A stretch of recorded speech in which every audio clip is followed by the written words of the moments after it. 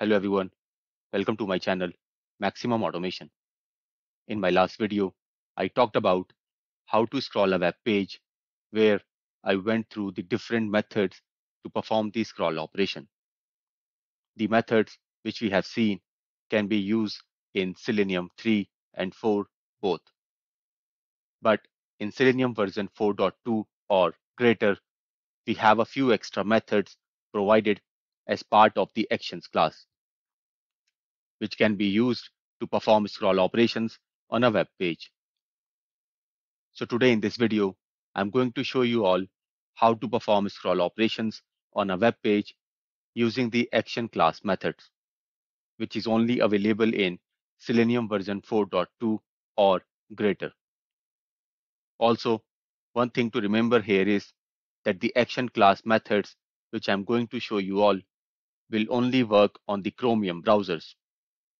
These methods of action class won't work on other browsers. So let's get started. As we know that when we automate our web application, then most of the time the element on which we want to perform the operation is available on the bottom of the page or we can say that they are available out of the viewport. Let's say if I want to click on an element which is not available on the current viewport of the browser, then the Selenium click method will throw the exception. And to avoid it, we need to first scroll the web page so that we can see our element on the browser. And then we can perform the operation. So let's see how we can perform the scroll operation on the web page using action class. Here is my code where I first created the Chrome driver object and then navigated to the website amazon.com. Now to perform the scroll operation using the action class, first I need to create an object of the class.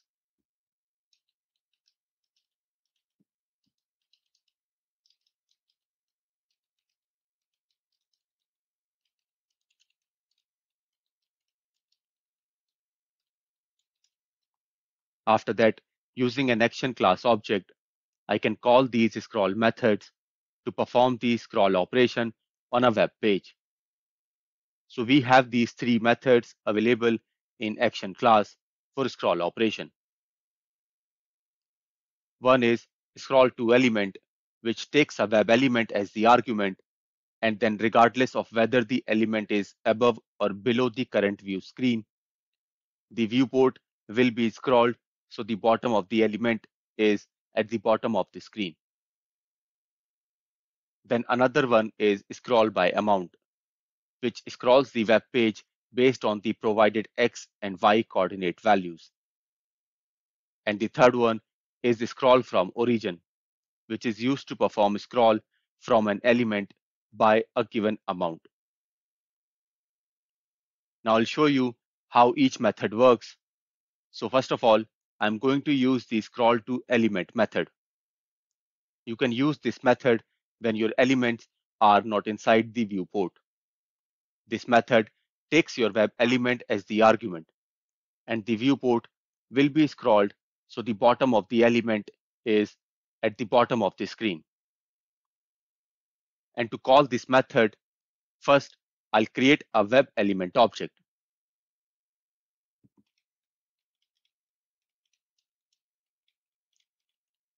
Using driver dot find element method where I'll provide the element locator.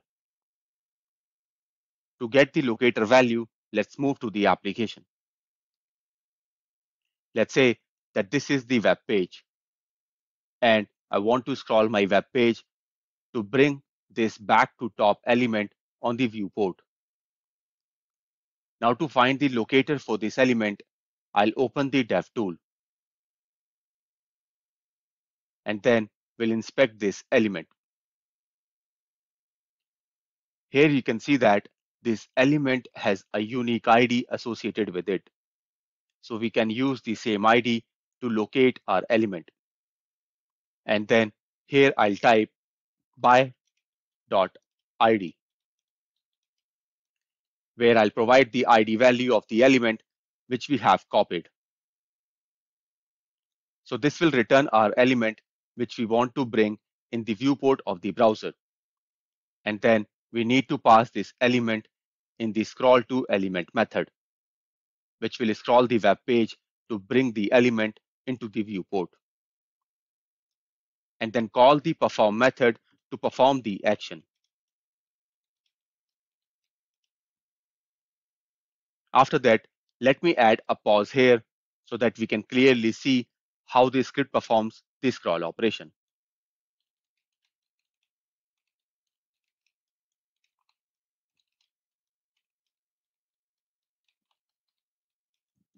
And at last, let me quit the WebDriver object.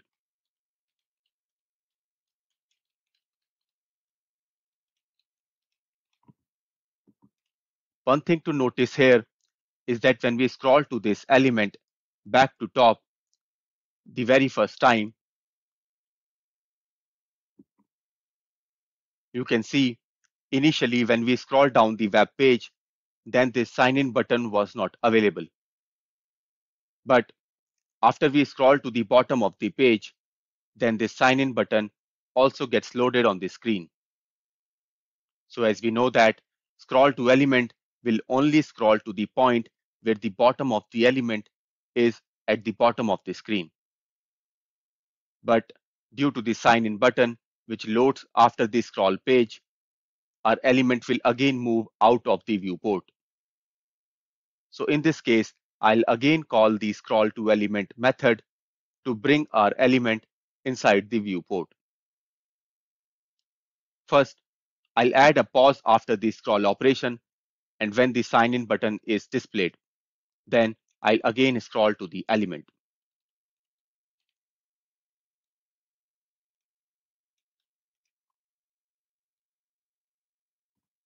Now, let's run the test to see how it works.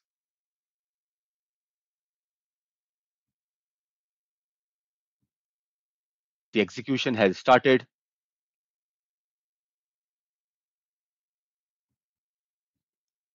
You can see it scrolled the page to bring the element into the viewport. But again, it went out of viewport because of the sign in button. Now you can see it again scrolled down to the element.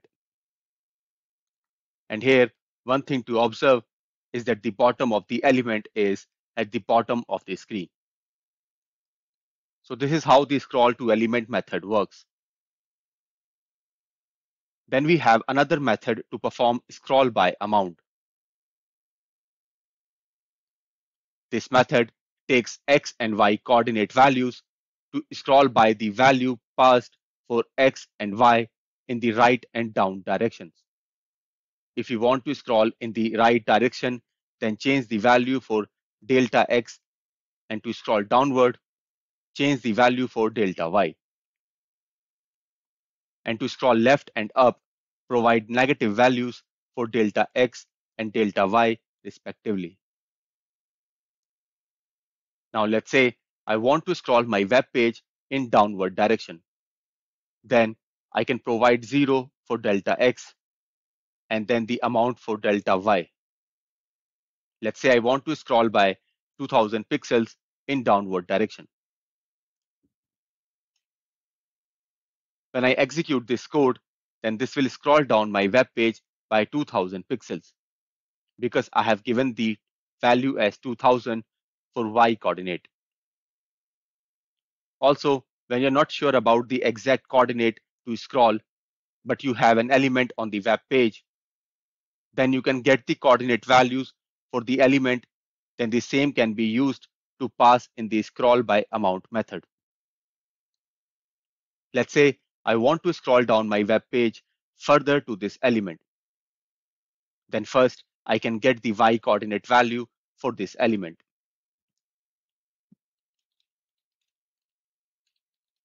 By using element dot location dot y. This will return the y coordinate value of this element. And then we can pass this value over here. And because I want to scroll further to this element, so I can add an extra amount to scroll more. Let's say I want to scroll down 500 more points from my back to top element. So either I can provide the direct coordinate values or I can add the coordinate values with the reference of another element on the page. Now let's run the test to see how it works.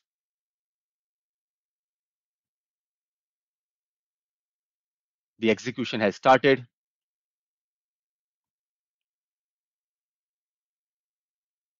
You can see it scrolled the web page almost to the end of the page. As we have added 500 more amounts to the y coordinate from back to top element. So this is how scroll by amount method works. Now we are left with the third method that is scroll from origin. This method is basically a combination of earlier two methods, which takes three arguments. The first represents the origin point, which we designate as the element, and the last two are the delta x and delta y values. Here the first argument it takes is the object of scroll origin, which is available under wheel input device namespace.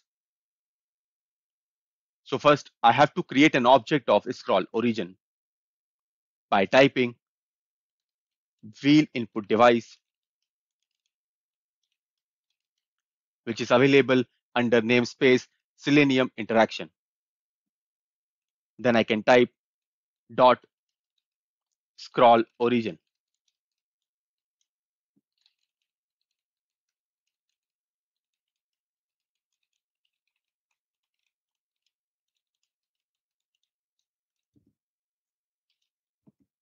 And then we can provide the values for different parameters. Like we have elements as one of the parameters. And against it, I can provide my web element object. Which means that now the origin for this method is our web element. Here we need to pass the scroll origin object and the coordinate values that how much we want to scroll from the origin. Let's say I want to scroll 500 more points from my origin element. Now you can relate why this method is called as the combination of earlier two methods. Now let me run the test to see how it works.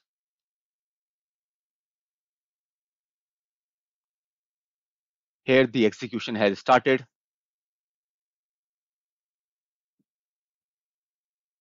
you can see it scrolled the web page to the end of the page.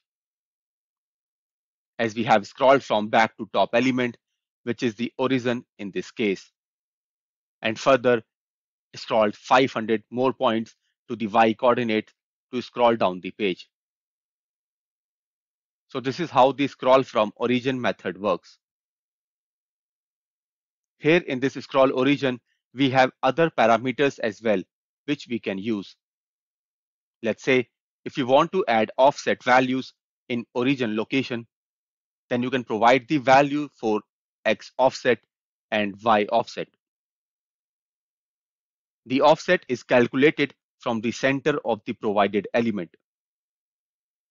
You can use these offset values when you know that the screen must be scrolled offset away from a specific element. So when we use these offset values, and if the element is out of the viewport, so it will first scroll to the bottom of the screen. Then the origin of the scroll will be determined by adding the offset to the coordinates of the center of the element. And finally, the page will be scrolled by the provided delta x and delta y values. Also, apart from providing the web element as a origin point under scroll origin, we can provide the origin location with an offset. Let's say if you want to scroll only a portion of the screen and which is already inside the viewport. Then we can remove the element as the origin point. And we can provide a viewport instead of an element. An offset is specified from the upper left corner of the current viewport. So let's say if you provide the X offset value as 50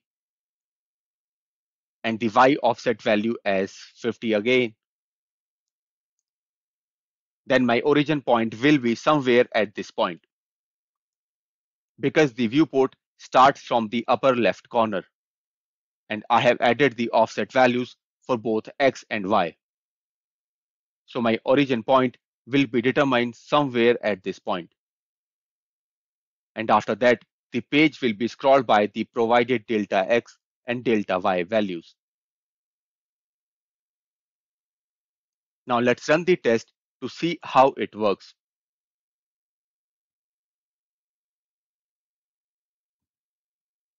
Here the execution has started. You can see that it scrolled a portion of the web page. As we have scrolled from origin as viewport with offset values and further added 500 more amount to the y coordinate to scroll down the page. So this is how we can use the scroll from origin method without specifying the element. I hope you liked this video. Please put your comments in the comment box. Also, please do not forget to like, share and subscribe. Thank you.